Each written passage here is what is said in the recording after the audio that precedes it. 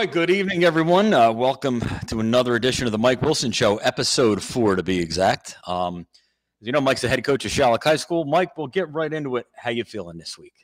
Feeling pretty good. I mean, got to win this past week, so it's always feel good when you win. We've had a good week of practice, and we're ready to go.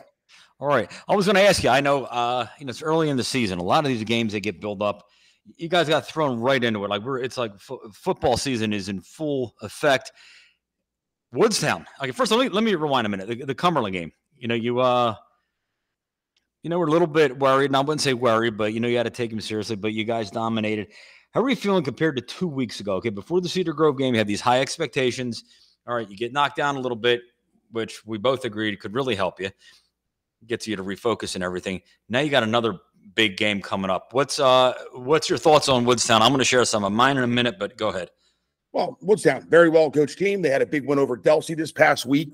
Um, honestly, this is one of Schalick's natural rivalries. They're Woodstown and Schalick are rivals in every other sport. Um, football has been a little one-sided over the last 13 uh, meetings between Woodstown and Schalick, but it's one of our natural rivals. It's only right down Route 40. Um, so it's going to be a good game Friday night. Yeah, because I remember going into the season, you know, you always speculate. Everybody's saying, okay, Woodstown lost a lot. They're not supposed to be – what they were. What do you? Uh, I mean, again, a lot of us don't know a lot about Woodstown. Uh, what could you tell us about this Woodstown team, 2024? Um, they Belafonte's still there. I mean, he was one of the leading rushing backs in South Jersey, so he returns. They return a nice group of seniors um, that were juniors last year from that state uh, sectional title team. Um, so the foundation that Coach Adams put a stamp on over the last 14 years is still there. The new staff is doing a great job, and I mean, they're they, they look like Woodstown. Exactly. I know they got a big win, over, and this is what got my attention. They got a big win over Delsea. Okay, take nothing from Woodstown, but you know you hear okay, Group One school against a Group Three juggernaut, defending what is it, two-time sectional champion, uh, defending state champion, yes. multiple state championships. I know it's a new regime there. I know uh, Sal built nothing short of a powerhouse. Uh, I know this is a new regime, but I it, it it's like you can't think they're going to fall off that far but yet a team like Woodstown beats them, and I say that in a negatively because you know they're only a Group One. Uh, for them to beat Delsea, no matter you know even Delsea is you know minus Sal Marchese right now, it's a big deal. So I, I think this game looks much more interesting than it did a few weeks ago prior to the season. I think you would agree. Well, I mean, I think this game from our, our end of things is was always going to be interesting because yeah, I mean, we play Cumberland. We have that rivalry with them, but this is Schalick's rival in every sport. The kids know each other. A lot of these kids play travel baseball together. They okay. play Little League at Elmer together. These kids know each other better than probably the Cumberland kids do. Like, awesome. I mean, like, like it's really intertwined. I mean, I'll say this for the Cape Atlantic League guys out there, it's very much like the mainland Ocean City rivalry. That's how well these, these kids know each other. Okay, great, and that, and that's what makes high school football. I love that. Yeah. I'm sure. And where's the game at, Mike? Is it your your house? It's at Woodstown, which has an awesome atmosphere on a Friday night. All right, yeah, looking looking forward to that. Um, what's tell us as I always like to say another one of my favorite terms. Tell us about the chess match of this game. What, what how do you guys pair up? What do you need to do to beat them? What do they need to do to beat you? What tell us about the actual. Well, I mean, one thing is, I think it's going to come down to the team that needs makes the least amount of mistakes, penalties, turnovers, um, who executes the best, who blocks and tackles the best. I mean, from us on a stop point, Belafonte, man, everything runs for number three. Um, we slow him down, we'll have a shot. Right. I was going to say, so who are some of their major players? What are their strengths? And again, I'm not too they familiar. Run, they run the football very well. They stop the run very well. They have good solid special teams. Um, it's good. I mean, they're built similar to us. It's going to be a good game. Right. Awesome. Um, moving around a little bit. Um, you know, we're two weeks in. You know, I'm not going to go talk about playoffs yet, but there are some surprises. Uh, just when you thought it's safe to go back in the water, you have Paulsboro 2 and 0. Uh, I saw them Saturday against Audubon. Well, I won't say they're great. They look good. I was impressed. Uh, there's some holes in their armor. No, don't get me wrong. I liked what I saw with them. Uh, any anything over the weekend that you found surprising with any other team?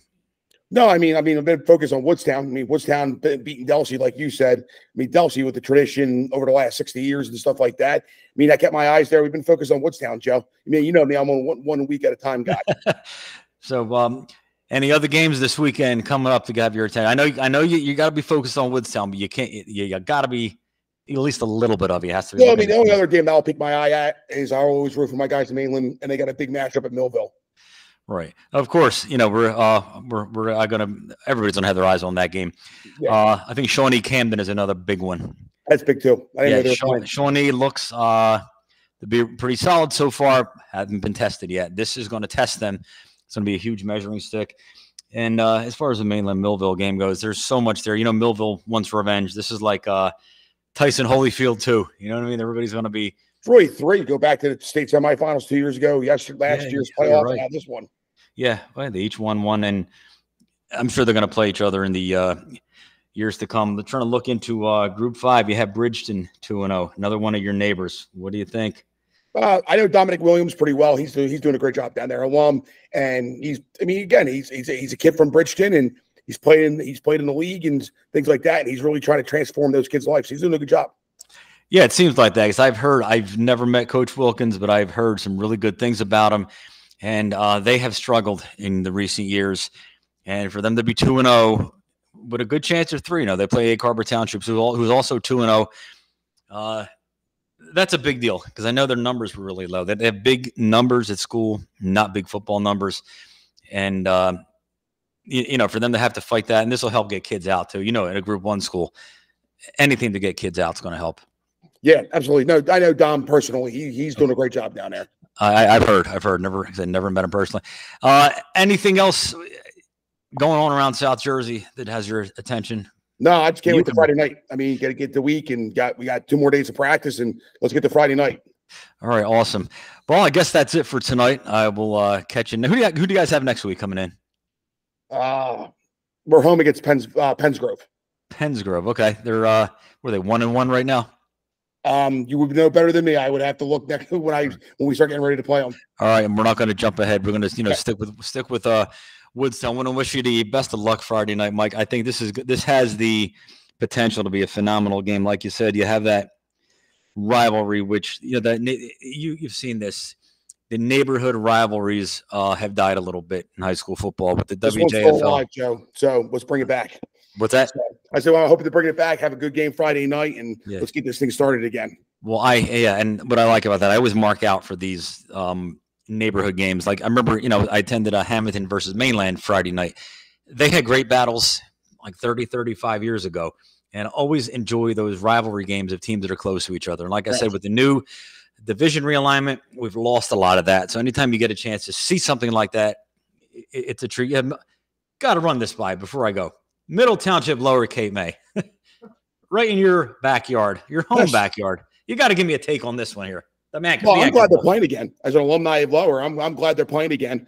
Um, I mean, I was a I was a freshman when Lower played middle for the first time at Thanksgiving 20 some odd years ago. Um, so they, they took a year off last year for whatever reason. So I'm glad that they're playing again. It's a rivalry. I mean, it ranks up there. The kids know each other, families know each other.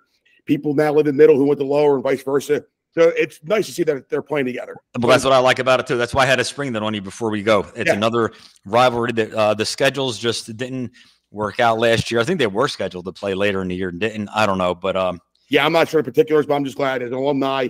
yeah, I mean, taught at middle, went to lower. It's nice to see them playing again. yeah, no, that's awesome. That to me, that's what high school football is all about, amongst other Right. things.